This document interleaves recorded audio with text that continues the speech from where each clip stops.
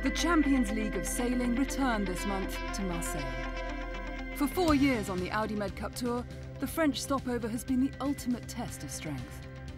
Where the mountains meet the Mediterranean, conditions are ever changing. And frequently, racing conditions challenge the sailors and their technology. The 2011 Audi Med Cup Grand Prix Tour stops at five glorious European locations. At the season premiere in Portugal, the circuit began its seventh season and celebrated an exciting new era in monohull racing as the new Soto 40 class made a spectacular European debut alongside the larger TP52. And with six brand new TP52s coming out of the build sheds for 2011, the Audi Med Cup standard has never been higher.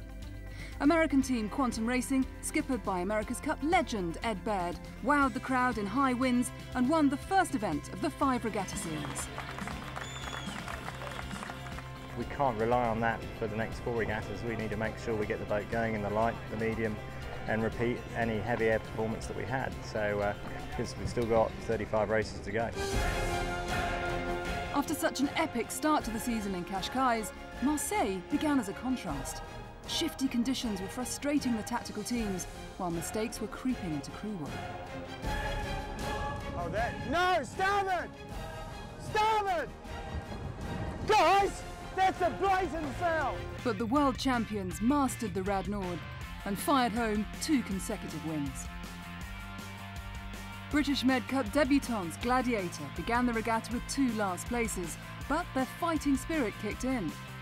After surprising everyone, including themselves, with a win on day two, they backed it up with another in the very next race. On paper, we should be eighth every time out, so you know it's quite nice when the underdog takes one. But things took a turn for the worse. A collision late on day three saw Gladiator pull out, with the Swedish Ran black flag disqualified. Gladiator's bowsprit had sliced through Ran's transom in the contact, and both returned to the dock bruised and broken. I think they just misjudged it, and, uh, and we did our best to avoid it, but, but couldn't. So, you know, it's tight racing, it happens. We were very happy until uh, kind of this incident really, which has kind of put a bit of a downer on the regatta so far. You know, the shore guys have got a long night ahead of them trying to patch it back together.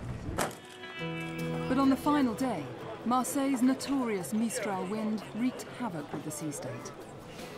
Winds blustered to an unmanageable 35 knots and the course was deemed unsailable. As racing was finally abandoned, the German flag team Container were crowned Marseille Trophy champions a victory Marcus Wieser put down to camaraderie and team spirit. We have just fun going sailing and that's very important in a team sport to have fun and if you have fun you can sail very well and yesterday on the long distance race we had a fight coming from behind and at the end we won this race because we were just fighting the whole uh, race and just was just nice to sail with these guys. Quantum Racing and Audi Azzurra sailing team claimed the minor placings, but the American boat still holds the championship title lead.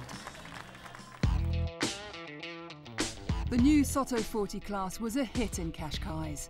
In strong winds, the boat surfed huge waves at high speed. But how would Iberdrola fare in Marseille's light conditions? Racing was tight. Iberdrola was taking on the hometown team, 22 Marseille sailing team, and South America's Soto champions, Patagonia by Negra. Both were in winning form in Marseille, but Iberdrola were the class act. For the second time this year, the Spaniards topped the podium. After a hard-fought regatta in Marseille, more turbulent conditions await the fleet in Cagliari. Next month, on Seamaster Sailing.